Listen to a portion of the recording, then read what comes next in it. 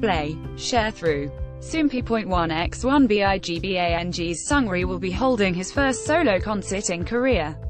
See also, BIGBANG's Seungri shares his confidence about upcoming solo album This will be his first solo concert in Korea after debuting as a member of Big Bang 12 years ago. The concert will be held at the Jangchung Gymnasium on August 4 and 5 and will be titled, Seungri the 2018 First Solo Tour, The Great Seungri, in Seoul. Soompi. News. English .300x250, BTF Soompi. Mobile. English .300x250, ATF fans are in for a treat as Seungri is preparing a variety of performances that will showcase his charms as a solo artist.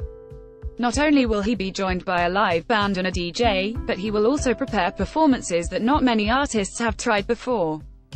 He hopes to create an exciting stage that will chase the summer heat away and is unique to Seungri as a soloist. Pre-orders for fan club members will be held on June 5 at 8 p.m. KST, with regular ticket reservations opening on June 21. Seungri is also preparing for a solo comeback before he enlists in the army. He is set to release his first studio solo album in early July, which will be his first solo activities in five years. Source 1